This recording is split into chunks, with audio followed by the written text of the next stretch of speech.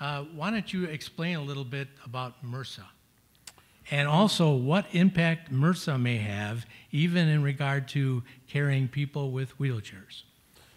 Um, I guess the first question to ask is anybody in here know what MRSA is?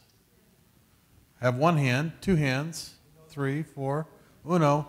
So MRSA is a, um, it's an abbreviation for methicillin-resistant Staphylococcus aureus, um, or aurea, or however you wish to pronounce the last word. So now you understand why they call it MRSA. Um, but basically, it's a bacteria that is resistant to methicillin, which is one of the strongest antibiotics that are out on the market.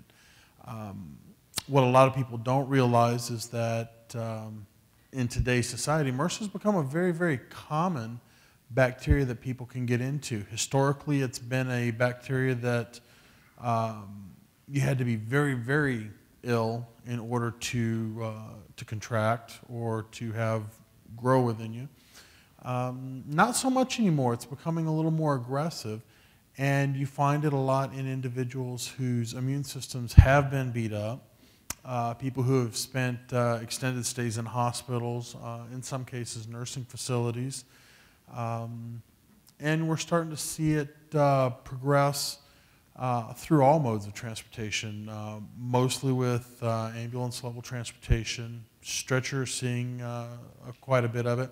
We're seeing a lot more of it in wheelchair and even ambulatory um, transportation. So uh, one of the things that we really try to do is, um, with the class that we teach, we try to uh, enlighten people about the need for some additional training uh, for all of their employees, whether it's driving a sedan, uh, a city bus, um, a stretcher vehicle, an ambulance, on how to minimize the risk for catching diseases uh, or illnesses such as MRSA or some of the other ones that are out there. Tim, given that statistic in regard to healthcare providers, Um, the statistic, and I one's looked for a long time to try to figure or try to back this up. Uh, so I guess the unofficial statistic that we were we were trained with years ago is that a healthcare provider, if a healthcare provider is in the field for more than one year, there's a 70% chance that they have MRSA. So um, it doesn't mean they're infected with it. You can have it and not be inf- infected with it, meaning that it makes you sick. But there's a 70% chance.